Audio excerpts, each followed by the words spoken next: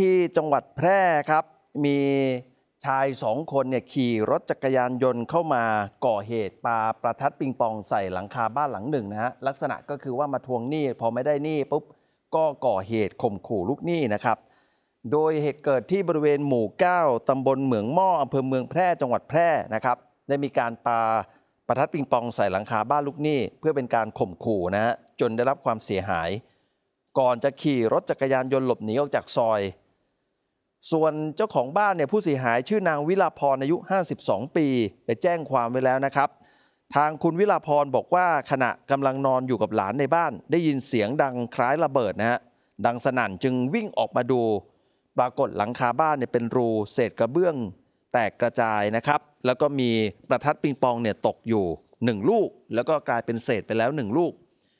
เมื่อสอบถามเพื่อนบ้านทราบว่าเป็นแก๊งเงินกู้ที่มาเก็บดอกเบี้ยนะฮะ ทางคุณวิลาพรบอกว่าตัวเธอเองเนี่ยไม่ได้เป็นคนกู้นะ แต่ว่าเป็นเพื่อนอีกคนหนึ่งที่มาอาศัยอยู่ด้วยกันที่บ้านเช่าหลังนี้ คนที่กู้เงินเนี่ยนางสาวบีนามสมมุตินะฮะเป็นเพื่อนกันนะครับ มีภาระต้องดูแลพ่อและพี่ชายพิการที่บ้านอีกหลัง ซึ่งอยู่คนละตำบล แต่เนื่องจากเธอไม่มีรถที่จะไปทำงาน จึงขอมาพักอาศัยที่บ้านของนางวิลาพรเพื่อจะได้ใกล้ที่ทำงานและสามารถเดินไปได้เอง นางบีได้กู้เงินจากแก๊งเงินกู้นอกระบบมา 5,000 บาทนะฮะตั้งแต่เดือนเมษายน โดยจ่ายดอกเบี้ยวันละ 100 บาททุกวัน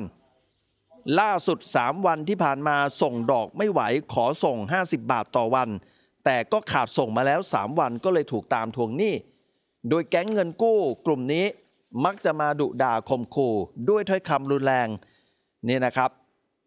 บางครั้งเนี่ยนางบีซื้ออาหารและน้ำเต้าหู้จะเอาไปฝากพ่อกับพี่ชาย แล้วนำไปห้อยไว้ที่รั้วก็ถูก แก๊งเงินกู้เนี่ยมาหยิบเอาไปกินก็มีนะครับ เดี๋ยวลองฟังทางเจ้าของบ้านหน่อยฮะคือที่เกิดขึ้นนี่คือเพื่อนเป็นมาพักอาศัยอยู่ตัวแต่แต่แม่นี่บอกเกี่ยวข้องกับเงินกู้นี่สักอย่างเลย